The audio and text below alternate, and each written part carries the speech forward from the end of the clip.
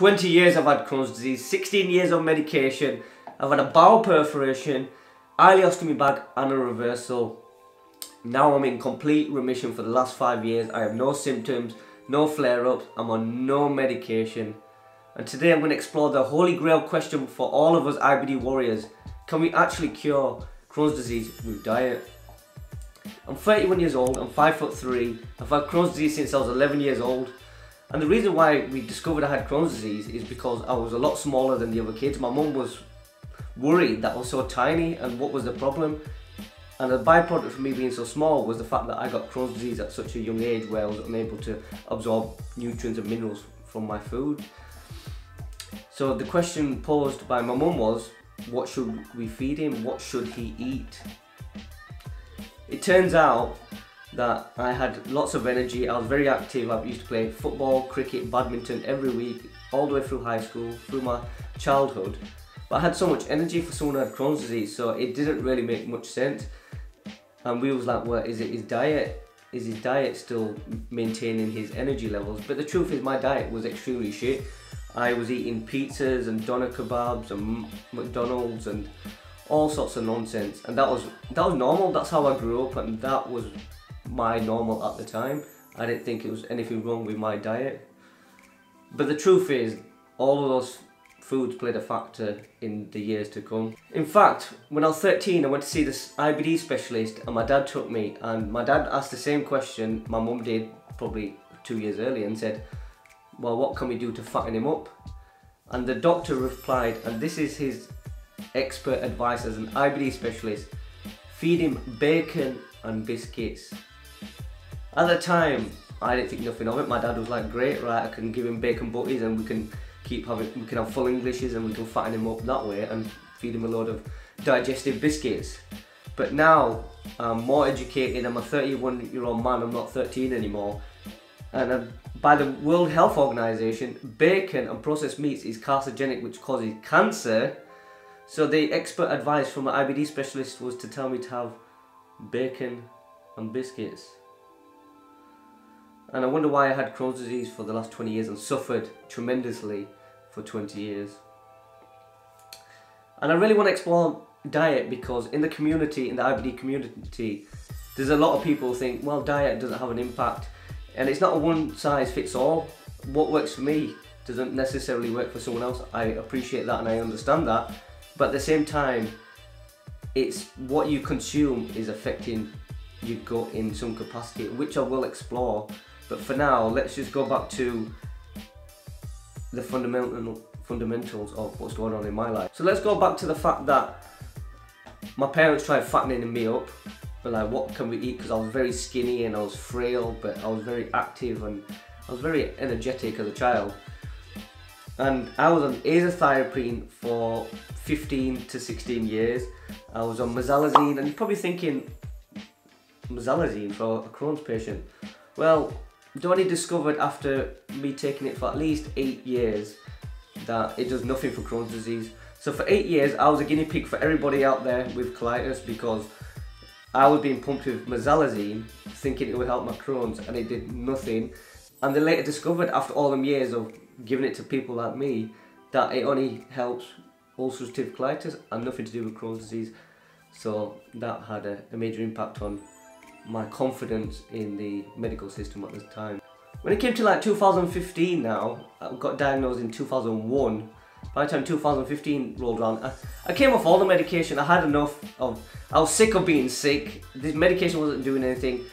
The dosage kept increasing as I'm put on prednisolone, they tried, there was talks about infliximab and Humira and it was like oh, this doesn't work, let's just try this. Oh, well, if that doesn't work, just up the dose. And after 15, 14, 15 years of medication, I got sick of it and I just completely stopped everything. And to my own surprise, I felt so much better.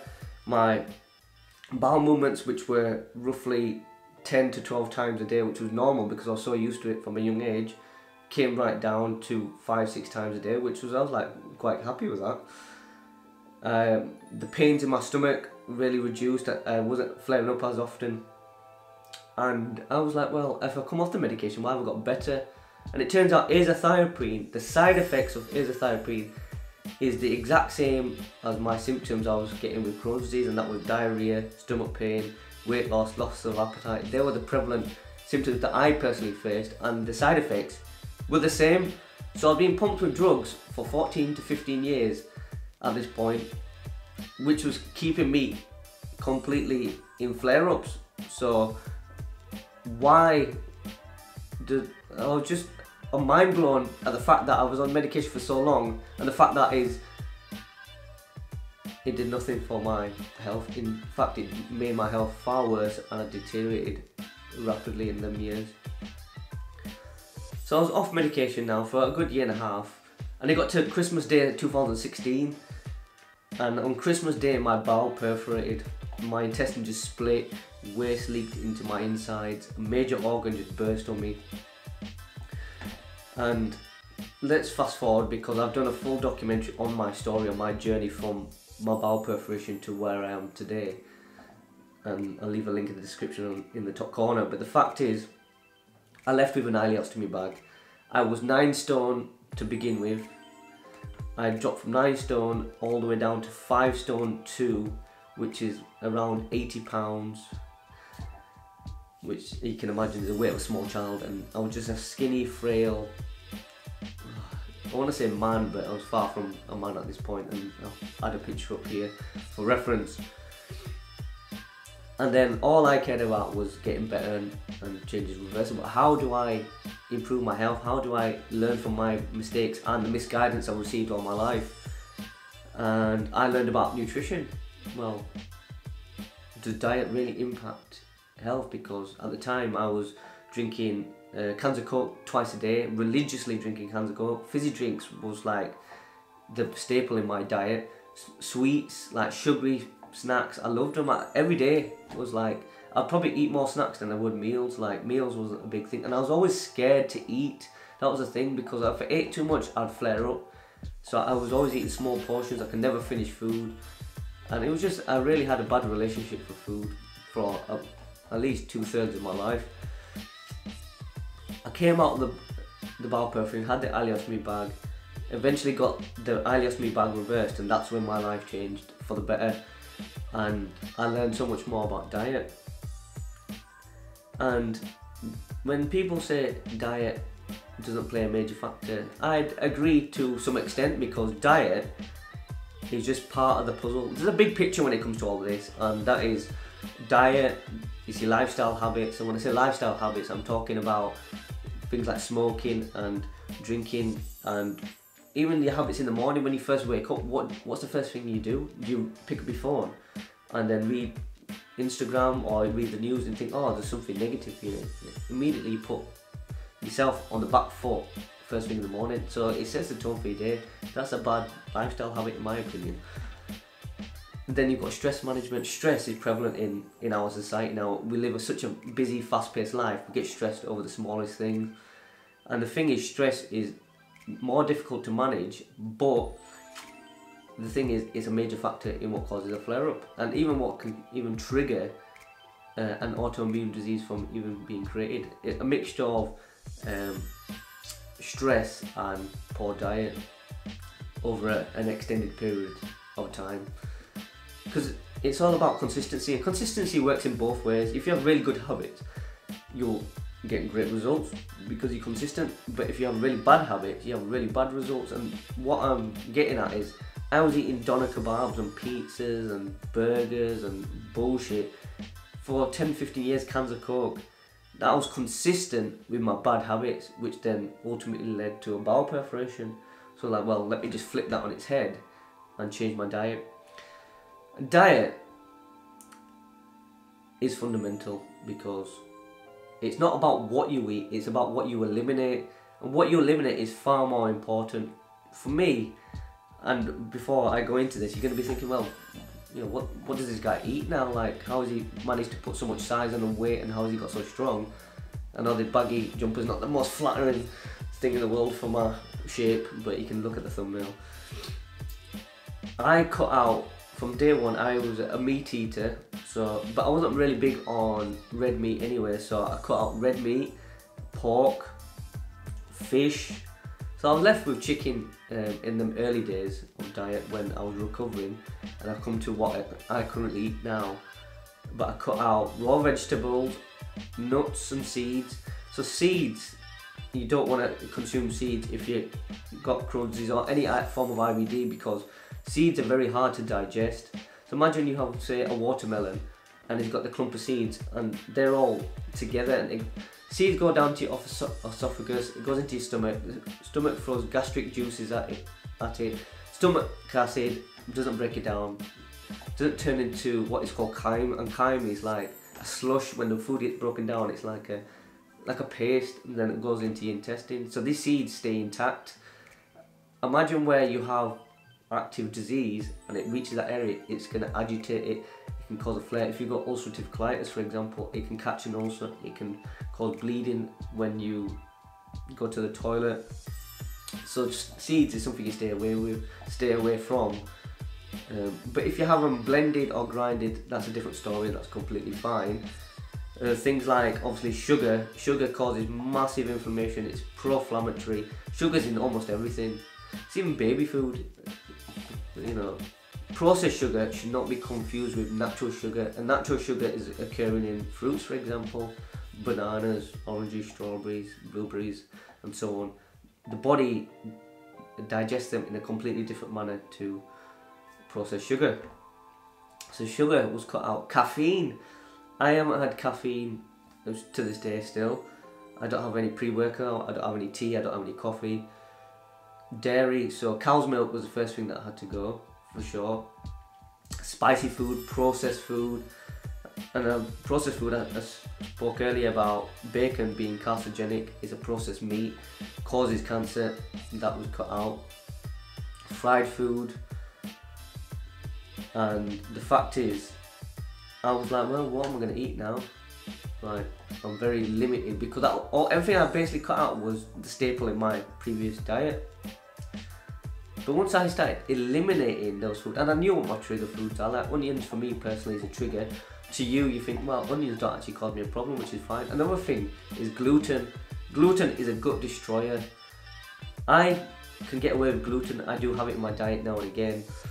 But generally speaking, like if you want to go into remission, gluten needs to stop. And the fact is, don't swap it for gluten-free stuff because it's the lesser of two evils. If you've got gluten-free bread for example, then to mimic that gluten taste, they have to pack it with more chemicals, more thickeners, more emulsifiers and E numbers just to get that same taste. And it's like, well, what's the battle? Do I have gluten or should I just have the bag of chemicals? Uh, so if you're gonna avoid gluten, avoid it completely. Don't try and find these alternatives. That goes with anything. Alternatives are equally as bad in some measure. So I'm not going to sit here and preach, oh, you should have a vegetarian or plant-based diet. You need to understand that a lot of the foods that are normal in society actually cause a, a lot of problems, especially of long-term consumption. Like fizzy drinks, I think that's obviously packed with full of sugar and shit anyway. But it's the foods that we think, oh, that's okay. Red meat, red meat is really hard for the body to digest. Imagine a steak and you're chewing it and you're like, nom, nom, and then it, and you're still chewing it and chewing it pork as well, chewing it. And you might just have enough and give up and just oh swallow it now. But it's still a big piece of meat that's there. The stomach struggles to break it down and it's throwing the gastric juices at it and it's like, well I can't break it down, I've done the best I can do. And now it goes into the intestines. But it's still a chunk of meat intact and while it's making through, and it, again, it reaches that area where you've got active disease, it's going to cause a blockage. If you've got a stricture, it's going to cause a flare up or even discomfort and bloating. So why why would you put yourself through for taste? Your taste buds change once you start changing the way you perceive food. And the thing is, how in this day and age we perceive perceive food with, oh, it needs to taste nice, needs to look appealing and edible.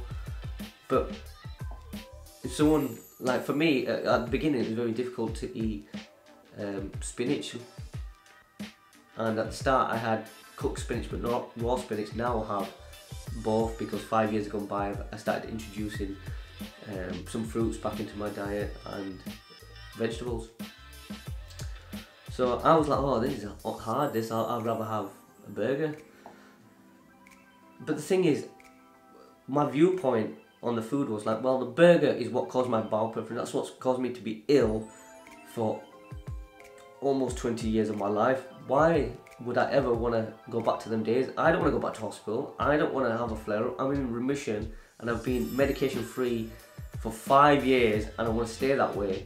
So I don't want to regress. So when I look at say spinach, I don't think, oh well, this doesn't taste as nice as a burger, even though it's not a fair comparison.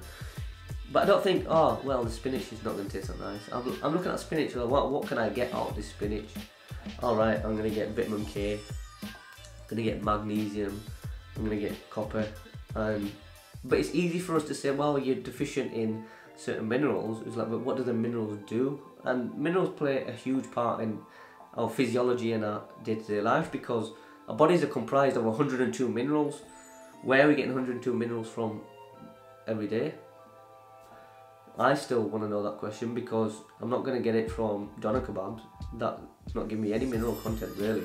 I'm going to get it from um, fried chicken or pizzas. It comes from food that's grown out of the earth. Mother Nature has provided it with those minerals. Sea moss. Sea moss, if you haven't heard about it, super potent and quite nice actually. All you need is a sea moss is found in different parts of the world. Generally, it's you get Irish sea moss, but over in the Caribbean, it's prevalent. St. Lucia, for example, lots of sea moss, and it's it's it comes from the sea. It's like a seaweedy type substance. I don't know the best way to describe it, but you you blend it in and you turn it into a paste or a gel, and you consume it in that manner. You can put it into smoothies, or you can just have it as a teaspoon. But the thing is, with sea moss, it has 92 of the 102 minerals that the body needs. So if you have two teaspoons of that a day, you're only getting 92 minerals out of your 102. Now you just need to find the rest, and that can come from other parts of your diet. So when people say to me, "Oh, that diet doesn't do anything for me," I tried change my diet and things like that. But I want to know what did you change your diet to? What did you start consuming? Because there's so many different diets now when it comes to IBD. You get the beige diet and people try paleo and keto um, and go completely vegan or just cut out meat. There's so many different things that you can do, but there's no one shoe, one size that fits all basically. But the elimination of foods is pretty much standard between us all, and that is you want to cut out all the bullshit. And I'll leave the list in the description below as well so for reference. But for me, I have herbs. And when I say herbs, herbs are plants that are grown out of the ground. It's been used in traditional Chinese medicine for thousands of years, been used in Ayurvedic medicine for thousands of years. It stems from ancient Egyptians and Romans and Greeks and Arabs and it's worked wonders in my life and it's worked wonders for all the people that I work with as a health gut coach as well and these herbs also have high mineral content that have very powerful healing properties far greater than the conventional medication that I've certainly been on with no side effects as well. And without them herbs then I'd be quite worried of what would happen with my health because that is my medication. That is medication to the people that I work with as a health coach that they consume now and they've managed to heal their IBD in, so that could be Crohn's disease that could be ulcerative colitis ulcerative proctitis uh, IBS celiac diverticulitis there's so many different ones I've, people have these ailments I've worked with and had proven results and I've done all the hard work in my life to go through being this guinea pig all these years to actually like well, I've turned my life around. I'm always energetic, I'm full of life, I'm powerful in the gym. I'm one of the strongest people in the country, pound for pound, really. So I've broken two deadlift records in the Yorkshire Northeast in the UK. I'll become the Yorkshire powerlifting champion. I'll become fourth in Britain for powerlifting that was all after my bowel perforation and my ileostomy bag. and that was all within a year to two years after that surgery. And a lot of that comes down to what I was consuming, how I was fueling my body, how I was living my life, how I was exercising, my lifestyle habit, my stress management, which is key. I'm always focused on like what how can I stay calm and remain calm at all times? And it's easier said than done because we're all like well we oh, I want to think positive I want to chill out. But the fact is well you, you know what works best for you and for me I've proven it with myself that the fact is I feel great, I look incredible, I feel incredible. I want everybody else to feel the same that I do. It breaks my heart to see and hear people that are suffering or people reach out to me and ask me questions and say, well, what can I do to change my life? What do you eat? What, what do I need to cut out? And when people say, what do I need to cut out? I'm like, oh, good question, right question to ask. Because if I said to you, all right, here's what I eat, and I now go replicate my healing, you're not going to do it just based off my diet alone. Diet is one piece of the puzzle. For example, 90% of your stress hormone, your cortisol, is manifested in your gut, it developed in your gut. So if you're stressed, if you don't get a headache and think, oh, I'm stressed, uh, I, I, I can't handle this, what's going on. It's, well, if you've got IBD, you've got Crohn's, that first place you're going to feel the effects of that stress is in your gut. We don't want that at all. If you're in a situation which you can't change or control it, why even stress? For example, you're in your car and you're late to work and there's someone at the traffic lights and you think, well, get out of my way because it's a green light and why have you stopped? Like, you're making me late for work. And you might be effing and blinding and getting stressed and wound up and but that person in front doesn't know that you you're pissed off at that person. They're not going to suddenly hear you and move out the way or set off. You can't change that situation. You can't control that situation. So there's no need to rile yourself up, put yourself under tremendous pressure and stress and affect your health negatively for something that you can't really control. All you do is you look at the positive side of things. And me in that situation is how I, I'm a big believer in the universe. I'm a Sikh. I'm a big believer in Sikhism. And to me, well, if I got delayed on my journey and I'm late, well, I think, well, the universe is protecting me from what's going to happen down the road. If I was that two minutes earlier, I might have uh, been caught up in a car accident or the there could have been some incident, shall we say, up ahead and that delay. Or another one is when I get to my place, the car park's full. And it's like, oh, right, well, the car park's usually full. But that two minute delay actually helped me because someone just pulled out as I pulled in in this full car park and I now I've got that slot. Whereas if I got there two minutes earlier, I would even circling and circling and lost a spot.